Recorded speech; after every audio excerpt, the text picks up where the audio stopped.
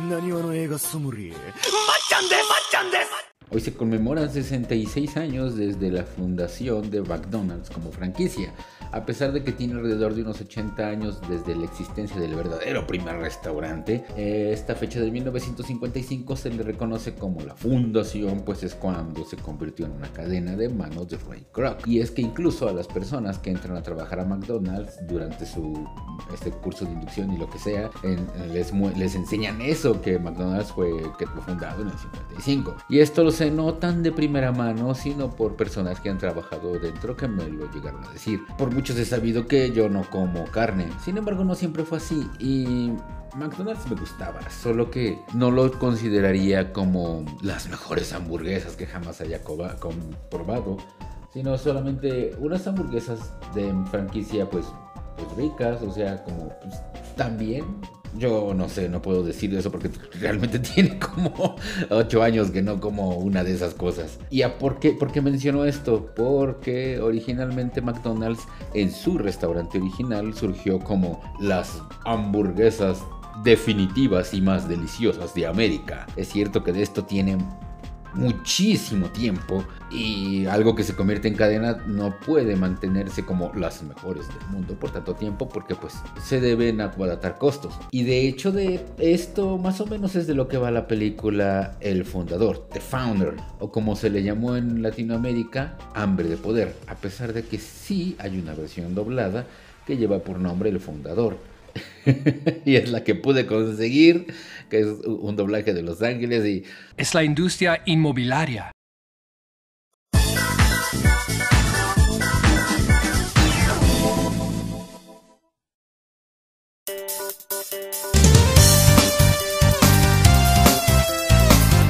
El Fundador es una película de 2016 que nos cuenta la historia de Ray Kroc, interpretado por el mamadísimo Michael Keaton, y de cómo el pendejo le quitó todo lo que tenían en la vida a Dick McDonald y Mac McDonald's, originales fundadores de McDonald's. Sí, la película nos lo presenta como un tipo con mentalidad de tiburón que lleva mucho tiempo sufriéndola ahí, vendiendo sus chingaderas y que, que de repente por azares del destino se encuentra con una idea millonaria, una idea de alguien más por cierto, pero después el sujeto se vuelve un pendejo pedante y, un orate súper codicioso.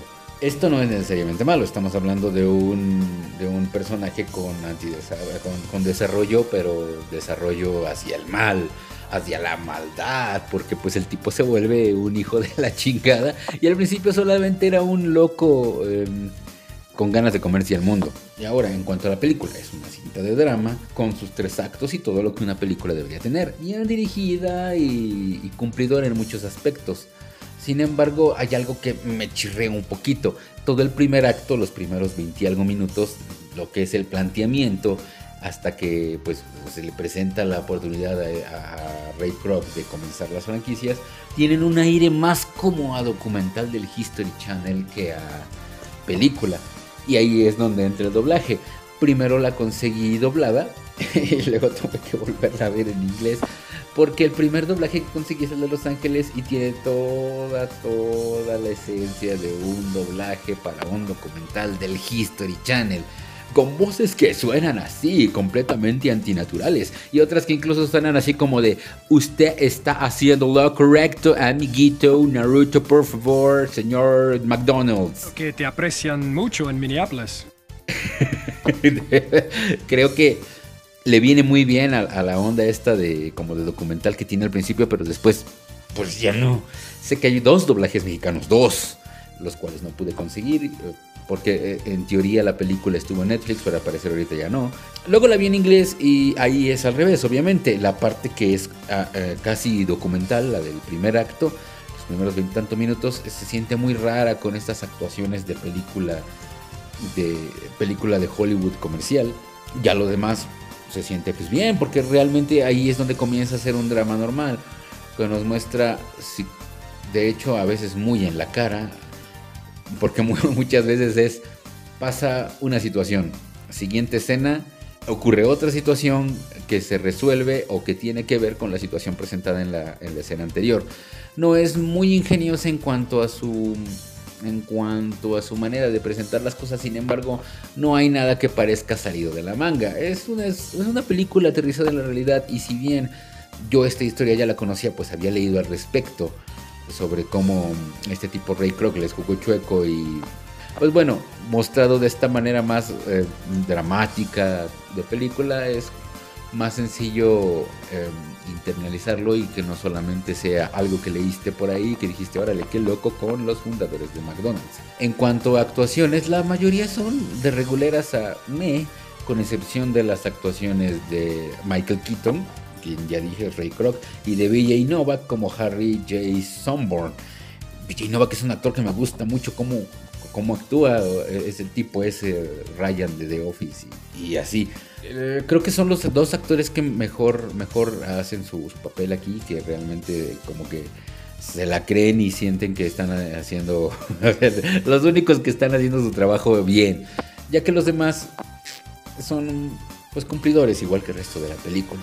Algo que sí me salta, como que yo había leído y siempre tenía entendido que el trato de la venta de McDonald's se había hecho con un apretón de mano solamente porque no querían pagar impuestos. Y la película lo muestra por, como, que pues el pinche Ray Kroc era un culero y, los engañó para hacerlo así. No sé, supongo que eso fue para efectos de dramatismo. Pero antes, antes de llegar a eso, ¿cuál es la historia? Básicamente, Dick y, y Mac McDonald's fundaron su restaurante McDonald's y para hacer el destino le piden ocho máquinas para ser malteadas a Ray Kroc, quien se dedicaba a venderlas puerta a puerta. La película inicia mostrándonoslo como un pinche perdedor eh, y ofreciéndole esas cosas a todo el mundo siempre con el mismo discurso. Y esto es una constante. Esto, esto que en un principio es mostrado como una cualidad mala de él, que es bien pinche necio, que siempre repite el mismo, el mismo speech de venta. Después es mostrado como uno de sus puntos más fuertes. Es bien pinche necio, va a todos pinches lados con el mismo speech de venta. Sin embargo, en ese punto ya es el gran Ray Kroc, fundador de McDonald's, como él mismo se hace llamar. convence a la gente como si un pinche esquema vendedor de esquema piramidal se tratara. Bueno, sí, este tipo Ray Kroc lleva las, las batidoras y se entera, bueno, conoce el restaurante original de McDonald's en San Bernardino, con este, esto que en, aquellos momentos, en, los 50, era algo que no se veía. La ventanilla, llega la gente, pide su, pide su orden, se la dan al momento y listo. De hecho, esto es mostrado como, como, como incluso al, al men este le explota la cabeza solo con eso.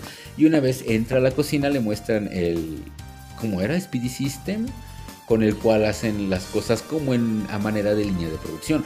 De hecho, cuando los hermanos le cuentan su historia, dedican bastante tiempo de la película a mostrar cómo es que idearon y perfeccionaron este sistema. Este sistema actualmente no solo lo utiliza McDonald's, pues yo trabajé en un Pizza Hut y utilizan exactamente el mismo sistema estoy seguro que en KFC y todos esos lugares lo utilizan. De ahí este sujeto orate se empecina en conseguir que se hagan franquicias y logra que le den a él, por medio de un contrato mm, algo ventajoso, debo decir, para los, para los hermanos McDonald, quienes en un principio no querían hacer franquicias, que le encargan a él lo de las franquicias. Y este tipo se deschaveta completamente, llegando al punto en el que prácticamente casi a la de a huevo tienen ellos que venderle la compañía el nombre y franquicia y control y demás, quedándose yo solamente con su restaurante original sin la posibilidad de utilizar el nombre McDonald's. Como dije, nuestro protagonista se vuelve un culero. Siempre fue un culero, solo que al principio era pues el, el, underdog, el desvalido.